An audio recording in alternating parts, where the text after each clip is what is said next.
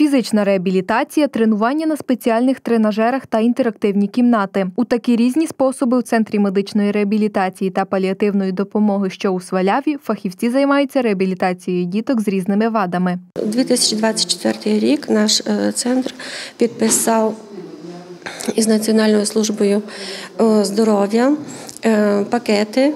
По реабілітаційній допомозі діткам це означає, що всі послуги, які ми надаємо реабілітаційні, лікувальні, вони всі для е, батьків вони проходять безоплатно, тобто за них проплачує нам е, Національна- служба е, здоров'я. Зокрема, у центрі надають реабілітаційну допомогу дорослим і дітям від трьох років стаціонарно та амбулаторно. Крім того, у нас є підписаний пакет на такий на пакет стаціонарної допомоги, реабілітаційної допомоги для діток від 0 до 3 років. У реабілітаційний пакет стаціонарної допомоги дітям до 3 років е, це різні різна патологія, е, яка була у дітей, наприклад, в е, періоді в період народжуваності, а також період новонародженості.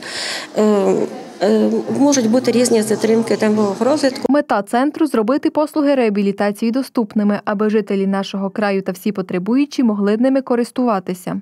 Крім того, ми багато маємо уже таких е, ну, діток, яких ми реабілітували по бронхіальній астмі.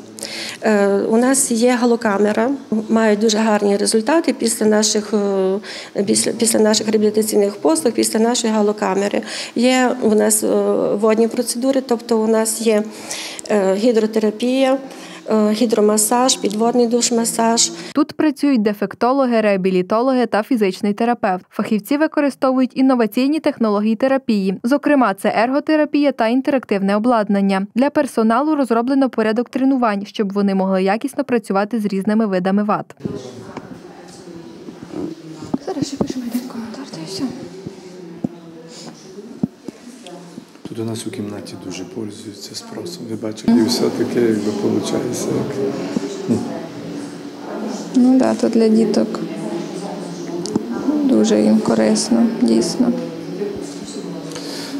Віднедавна у центрі з'явився спеціальний ліфт. Дороговартісний пристрій для перевезення маленьких пацієнтів було придбано благодійниками з Німеччини. Здійснити будівельну частину, установку, підключення та введення в експлуатацію допомогли доброчинці з Австрії. З огляду на те, що зараз до нас починають приїжджати на реабілітацію з усіх куточків України, ліфт реально це був дуже важлива потреба нашого закладу для того, щоб забезпечити доступ для маломобільних груп населення, і також для того, щоб наші всі дозволи, які ми отримуємо від Національної служби здоров'я України, вони вимагають інк- інклюзії, вони мають доступ.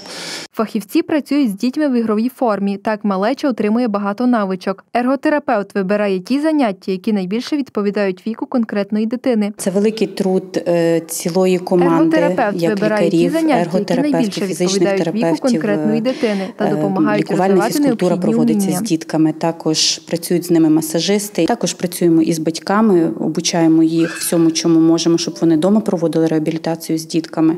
Е, Так як е, домашній труд це, мабуть. 50% того, що ми робимо. Якщо вдома не працювати, то успіху, звичайно, не буде. Наразі у центрі медичної реабілітації та паліативної допомоги є 60 вихованців. Тут є діти не тільки з нашого рідного Закарпаття, а також ті, хто внаслідок воєнних дій опинився у нашому краї та проходить реабілітацію у закладі.